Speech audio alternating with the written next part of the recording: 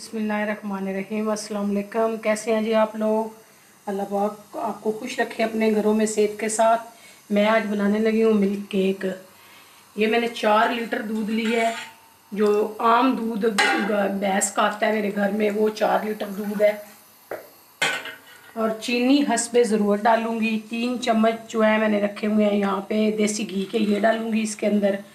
और ये लेमन है। ये पाँच लेमन मैंने लिए हुए हैं, इससे दो चम्मच रस मुझे चाहिए। मैंने इसका रस निकालना है, पाँच लेमनों का दो चम्मच रस निकलेगा, वो मैं डालूँगी इसके अंदर।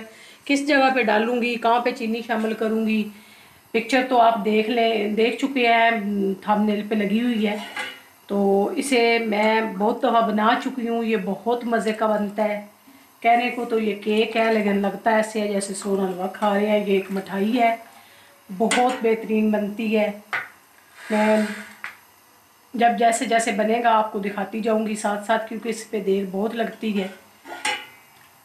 अभी दूध को जोश नहीं आया। जब दूध को जोश आएगा तो मैं आपको दिखा दूँगी। इसे बहुत ऐसा आँच पे पकाना है, और दूसरी बात है कि स्टील के देचके में पकाना है। ताकि नीचे जो है ना, लगने भी नहीं देना, और देचका भी स्टील का और सिल्वर में इसे बिल्कुल ना पकाना। चले, ठीक है, फिर बनता है तो आगे दिखाती हूँ। ये देखें जी, इसे एक घंटा हो गया। मुझे पकाते हुए आधा दूध रह गया चार किलो में से दो दो किलो दूध रह गया जो मलाई साथ आती रही है। मैं इसी के अंदर ऐसे डालती रही हूँ। दीवारों के साथ जो मलाई लगती थी ना, वो इसके अंदर मैं डालती रही हूँ। अब मैं यहाँ लेमन का जूस डालूँगी और इस दूध थोड़ा थोड़ा करके डालेंगे ये ऐसा ऐसा चलाने से दूध फट जाएगा फिर।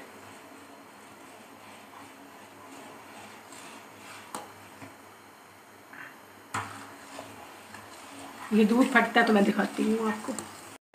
ये देखें जी लेमन का रस मैंने डाला था, उसके बाद दूध गया था फट। मैंने जो पानी था ना, उसके अंदर वो सारा खुशक कर लिया है। इस स्टेज पे ये आ गया है। ये सारा इसके अंदर से दूध भी, पानी खुश्क हो गया और दूध का ये खोया सा बन गया है। इसमें अब मैं चीनी डालूँगी। थोड़ी थोड़ी करके जितनी चीनी आपकी मर्ज़ी है डालें, मैं अपने पसंद से कितना मीठा खाते हैं, डालूँगी चीनी। उसके बाद ये तीन चम्मच घी है, ये थोड़ा थोड़ा करके डालना है, फिर ये तैयार हो जाएगा। दिखा दूँगी अब मैं यहाँ पे चीनी डालूँगी तो ये फिर एक दफ़ा लिक्विड हो जाएगा। थोड़ी सी चीनी पहले डालनी है, पकाते रहना है और थोड़ी थोड़ी करके चीनी डालते रहना है।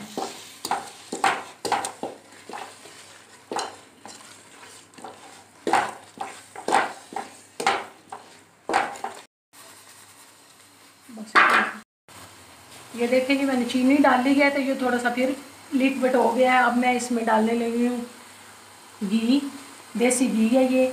थोड़ा सा मैंने डाला है, थोड़ा सा बाहर में डालूँगी, क्योंकि हमारा दूध चार किलो था, इसमें से भी घी निकला हुआ है, इसलिए घी हाथ रोक पे डालेंगे ज़्यादा घी की नहीं ज़रूरत है। थोड़ा सा और डालूँगी मैं।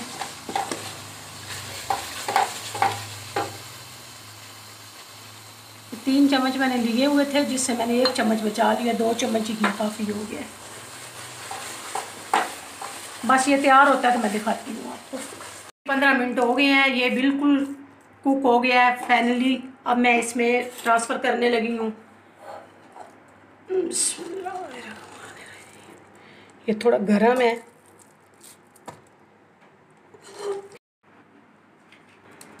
ये देखें जी, ये मैंने ट्रांसफ़र कर दिया है इसमें बाउल में। इसके ऊपर मैं ढक्कन दे के इसे इधर ही किचन में ही रख दूँगी। जब ये ठंडा हो जाएगा, कम से कम दो ढाई घंटे लगेंगे। ये अपनी जगह पे सेट हो जाएगा, फिर मैं निकाल के आपको काट के दिखाऊँगी। ये माशाल्लाह बहुत अच्छा बनता है। मेरा ढाई, चार किलो दूध था, चार किलो दूध से ये बना है। ये तकरीबन होगा आधा किलो का, आधा किलो बन गया ये।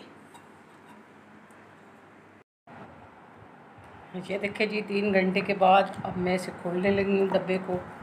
देखते हैं। ये ठंडा तो हो गया, माशाल्लाह। ये किनारे इसके ना नीचे तक मैं ऐसे छुरी के साथ कर लेती हूँ। ये नरम बहुत होता है, टूटने का डर होता है इसका। ये मैं निकाल के आपको दिखाती हूँ। ये देखें जी, मैंने निकाल लिया इसे। थोड़ा सा गर्म करना पड़ा फिर चूल्हे पे, डब्बे को और फिर निकला है। अब यहाँ से ये बहुत बड़ा है इसलिए इसकी मैंने टुकड़ियाँ काटनी है तो मैं दरमियान से इसे एक ही तरह ऐसे ले जाऊँगी और काटूँगी बड़े तरीके से। मैंने काट के आपको दिखा दिया है, ये माशाल्लाह बहुत अच्छा बनता है। आप भी ईद पे बनाएँ, ये बना के रख दें। कम से कम भी एक महीना ये ख़राब नहीं होता, इसे इंजॉय करें बना के। इसमें कुछ भी नहीं डलता, आपने देख ही लिया मैंने जो बनाया है, दूध से ही खाली, ये दूध, चीनी और लेमन का रस, बस। ये चीज़ें डलती हैं, इसमें मेवाजात कुछ कुछ भी नहीं डालने की ज़रूरत है ये खुद ही इतना टेस्टी है और किसी चीज़ की नहीं है ज़रूरत। ठीक है, अपने घर वालों का ढेर सारा ख्याल रखना, हमें अपनी दुआओं में याद रखना। अल्लाह हाफिज़।